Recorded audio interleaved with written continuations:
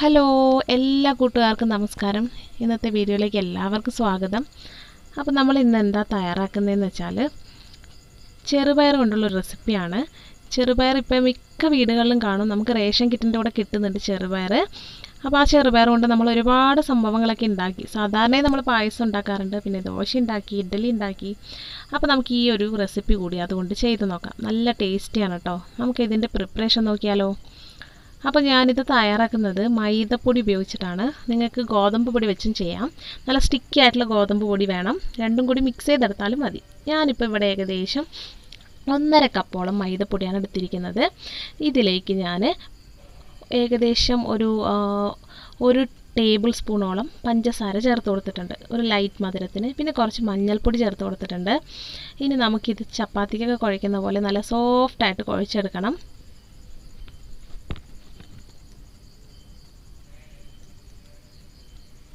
ഞാനൊരു നുള്ളു ഉപ്പും കൂടി ചേർത്തിട്ടുണ്ട്. എല്ലാം കൂടെ ഒന്ന് മിക്സ് ചെയ്ത് കൊടുത്തിട്ട് ഇതുപോലെ വെള്ളം ഒഴിച്ച് കൊടുത്തിട്ട് നല്ല സോഫ്റ്റായി കുഴച്ചെടുക്കുക. ആവശ്യമെങ്കിൽ ഒരല്പം ഓയിൽ കൂടി ചേർത്ത് കൊടുത്തോളൂ. അപ്പോൾ നമുക്ക് നല്ല സോഫ്റ്റായിട്ട് കിട്ടും. അപ്പം ഞാനിവിടെ കുഴച്ചെടുത്തിട്ടുണ്ട്. ഇത് നമുക്കൊരു സൈഡിലേക്ക് മാറ്റി വെക്കാം. ഇനി ഞാനിവിടെ എടുത്തിരിക്കുന്നത് കുക്ക് ചെയ്ത് കഴിഞ്ഞ ചെറുപയറാണ്. ഏകദേശം അരക്കപ്പോളം ചെറുപയറാണ് ഞാൻ എടുത്തത് അത് നന്നായിട്ട് ഒരു ആറ് ഏഴ് വിസിൽ വരെ നന്നായി കുക്ക് ചെയ്തെടുത്തു. ഇതൊന്ന് ഇതുപോലെ ഒരു തവി ഉപയോഗിച്ചിട്ട് നന്നായിട്ടൊന്ന് ഉടച്ചെടുക്കുക നമ്മൾ സുഖിയനൊക്കെ ഒരു മിക് ഫില്ലിങ് ഉണ്ടാക്കില്ലേ അതുപോലെ. അപ്പോൾ അതിൽ അതിലേക്ക് നമുക്ക് കുറച്ച് തേങ്ങ ചിരണ്ടിയത് ചേർത്ത് കൊടുക്കാം. ഞാൻ ഇവിടെ ഒരു കപ്പോളം തേങ്ങ ചിരണ്ടിയത് എടുത്തിട്ടുണ്ട്. കുറച്ച് അധികം ചേർത്താൽ നല്ല ടേസ്റ്റ് ഉണ്ടാകും അതുകൊണ്ടാണ് ഒരു കപ്പ് തേങ്ങ ചിരട്ടിയത് ഇതിലേക്ക് ചേർത്തിട്ടുണ്ട്. അപ്പം നന്നായിട്ടൊന്ന് മിക്സ് ചെയ്ത് കൊടുക്കുക. ഇനി നമുക്ക് ഇതിലേക്ക് ആവശ്യമായിട്ടുള്ള മധുരം ചേർത്ത് കൊടുക്കണം. അപ്പോൾ നമ്മൾക്ക് ഇതിലേക്ക് ശർക്കര ചേർത്ത് കൊടുക്കാം. ഞാനിപ്പോൾ ചേർത്ത് കൊടുക്കുന്ന പഞ്ചസാരയാണ്. ആവശ്യത്തിനനുസരിച്ച് നമുക്ക് ചേർത്ത് കൊടുക്കാം. ഇനി ഇത് നന്നായിട്ട് മിക്സ് ചെയ്യണം. മിക്സ് ചെയ്യുമ്പോൾ നമുക്ക് കുറച്ച് വെള്ളമായിട്ട് വരും.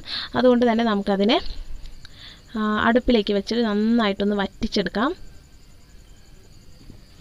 ഷുഗർ മെൽട്ടായി കഴിയുമ്പോൾ ഇതുപോലെ നന്നായിട്ട് വെള്ളം പോലെ ആവും. നമുക്ക് അടുപ്പിൽ വെച്ചത് നന്നായിട്ട് കുക്ക് ചെയ്തൊന്ന് കട്ടയാക്കി എടുത്താൽ മതി. ഒരുപാട് സമയമൊന്നും ആവശ്യമില്ല. അപ്പോൾ നന്നായിട്ട് കട്ടയായി കഴിഞ്ഞാൽ നമുക്ക് അടുപ്പിൽ നിന്ന് മാറ്റിയിട്ട് ഇതിനെ ഒരു വേറൊരു പാത്രത്തിലേക്ക് ഒന്ന് മാറ്റി കൊടുക്കാം. പെട്ടെന്ന് ചൂടാറാനായിട്ട് ഒരു പരന്ന പാത്രത്തിലേക്ക് നമുക്ക് ഇട്ട് കൊടുക്കാം. അപ്പോൾ ഇത് ചൂടാറി കഴിയുമ്പോൾ ഒന്നും കൂടി കട്ടിയാവും.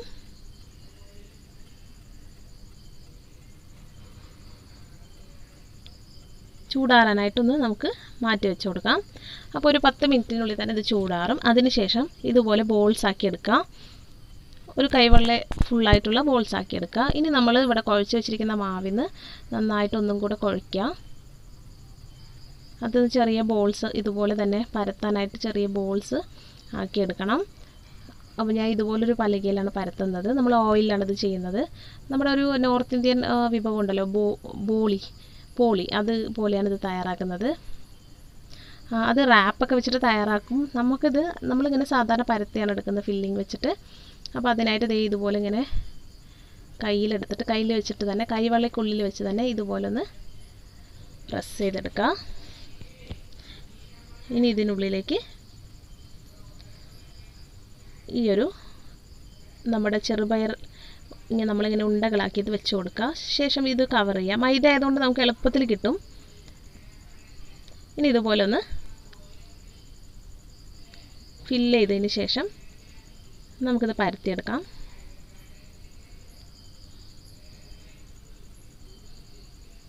അതാണ് നമ്മൾ ഓയിൽ എടുത്തത്. ഓയിലാകുമ്പോൾ നമുക്ക് പെട്ടെന്ന് പരത്താനായിട്ട് കിട്ടും. അതിലും ഒന്ന് ഓയിലാക്കി കൊടുക്കുന്നുണ്ട്. അതിനുശേഷം ഇതുപോലെ നല്ല സോഫ്റ്റായിട്ട് ഇങ്ങനെ പരന്ന് വരും അത്. കൈ കൊണ്ട് തന്നെ നമുക്ക് ആക്കാനായിട്ട് കിട്ടും. പക്ഷെ നമ്മൾ കൈ കൊണ്ടാക്കുമ്പോൾ ചെറുപയറിന്റെ ആ ഒരു മിക്സ് എല്ലായിടത്തേക്കും കറക്റ്റായിട്ട് എത്തില്ല അതുകൊണ്ട് നമ്മൾ ഇതുപോലെ ഒന്ന് പരത്തി കൊടുക്കുന്നത് നല്ലതായിരിക്കും. അപ്പോൾ എല്ലാ വശവും ഒരുപോലെ പരന്ന് നമുക്ക് കിട്ടും.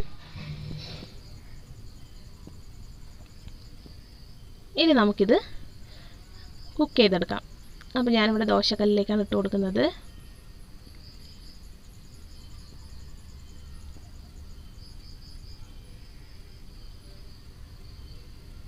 രണ്ട് സൈഡും നന്നായിട്ട് കുക്ക് ചെയ്തെടുക്കുക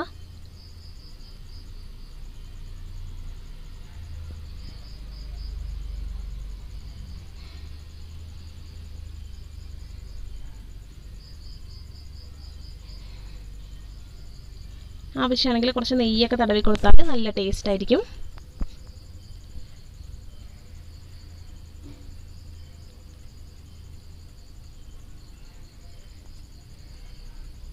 ഞാൻ ഇവിടെ കുറച്ച് ഓയിലൊന്ന് സ്പ്രെഡ് ചെയ്ത് കൊടുക്കുന്നുണ്ട്. ഞാൻ വെളിച്ചെണ്ണയാണ് എടുക്കുന്നത്. അപ്പോൾ ഇതുപോലെ മറ്റുള്ളതും കൂടി നന്നായിട്ട് കുക്ക് ചെയ്തെടുക്കാം.